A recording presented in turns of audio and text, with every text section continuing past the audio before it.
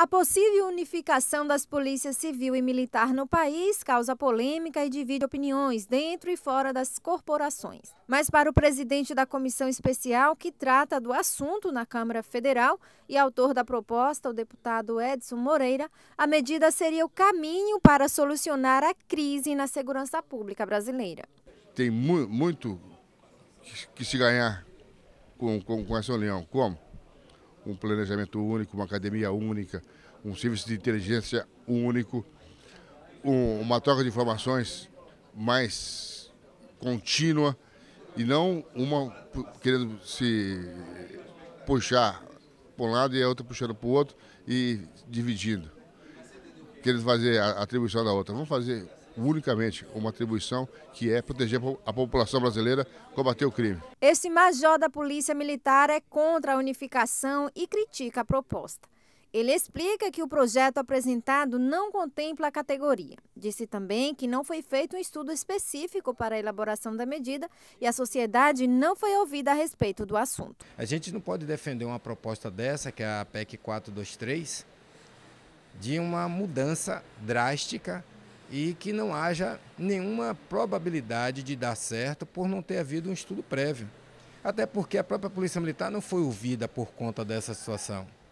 Então nós temos muita gente pensando coisas da segurança pública e que não passa por uma avaliação técnica dos integrantes da Polícia Militar nem da própria Polícia Civil. Quem também não concorda com a proposta é o policial civil Kleber Rosa. Para ele, o modelo atual de segurança pública não atende às necessidades da sociedade.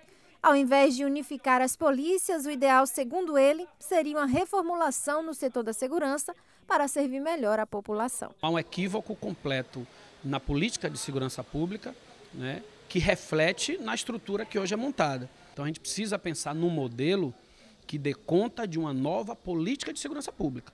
Então, unificar a polícia não dialoga com uma nova perspectiva de como atuar a nível de segurança pública para impactar na, na, nos níveis de violência. Os representantes da segurança no estado apontam que na Bahia existem mais de 30 mil policiais militares, sendo aproximadamente 3.500 para atender a capital baiana e quase 5 mil policiais civis, entre investigadores, escrivãs e delegados.